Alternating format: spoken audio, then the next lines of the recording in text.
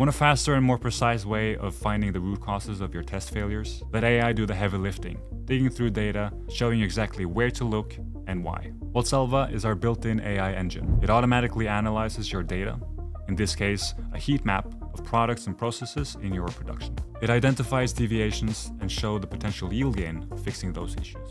I follow the AI's recommendation, locating the relevant product and process in the heat map.